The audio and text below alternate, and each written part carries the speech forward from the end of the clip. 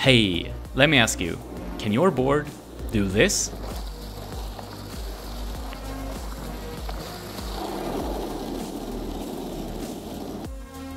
This is what we're working with. A plank skateboard that can stand up and lay on its side. It's what I use instead of a bike. Let me ask you, have you ever thought about how much a skateboard vibrates when riding? Have you ever tried putting electronics on one? Let me show you what it took to add this slick underglow to my skateboard.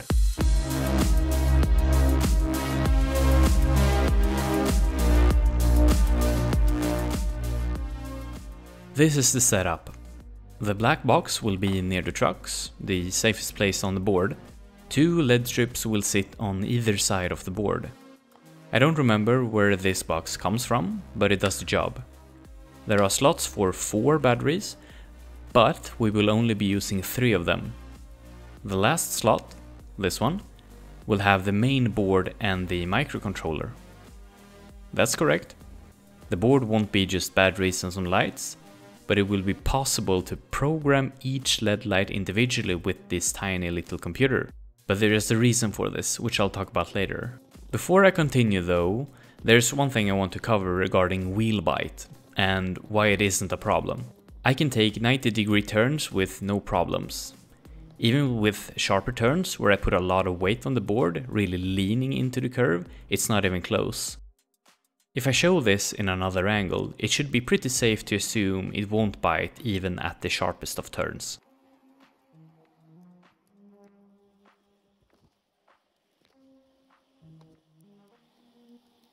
With that said, let's talk about the brain of the board. On this board we have the processor, a reset button and some programming pins. We cut it to be this small and then it fits perfectly into the fourth battery slot.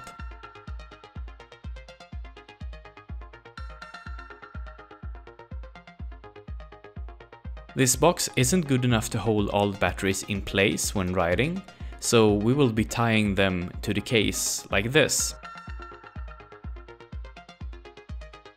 To get this we drilled some holes and tied it up a bit.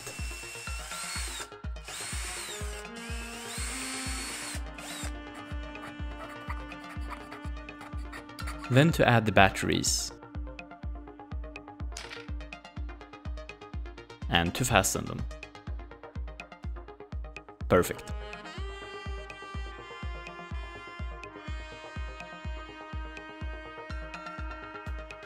A problem with this case is that the on-off switch sits on the back side, the side which will be stuck to the board.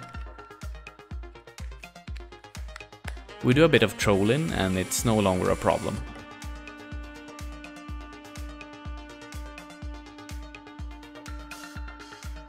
PC fan cables.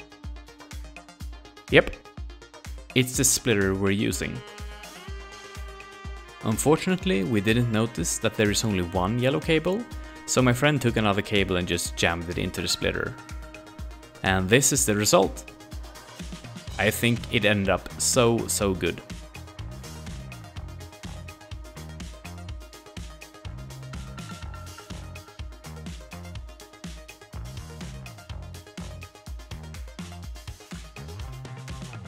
This is the test fit. One of the LED strips will go through the trucks.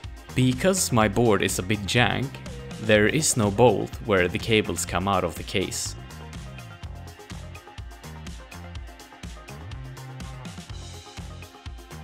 To get everything to stick to the board, we'll be using double-sided tape. The tape also happens to be just a little bit wider than the LED strips, which is perfect.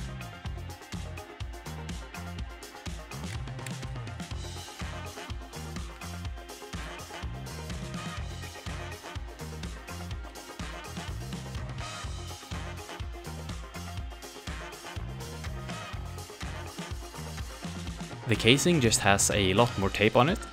Spoilers, the velcro was too thick, so the case ended up falling off. I didn't record this, but I put two more layers of tape over the velcro and now it's not falling off anymore.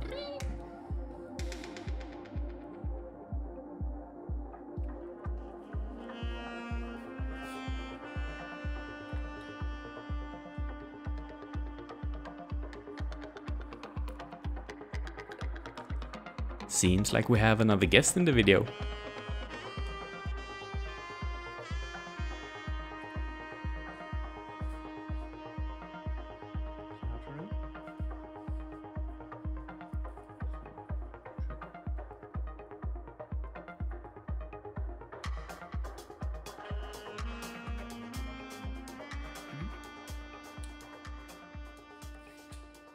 So here's how it turned out.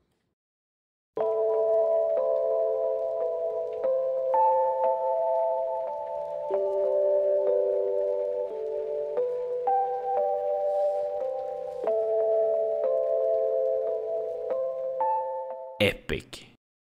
Quick notes, we had some issues. Some connectors were loose in one of the LED strip, so we soldered it stuck. Because of the vibrations when riding, the batteries probably lost connection. We tensioned the springs in the case by putting in some aluminum foil into them. A real hack, yeah. It did look cool when riding though, causing this flaming effect.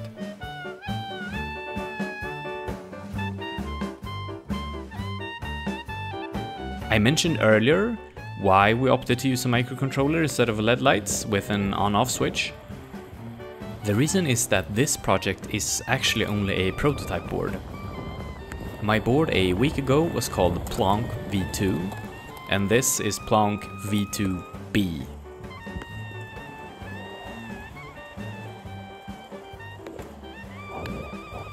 Thanks for watching all the way through.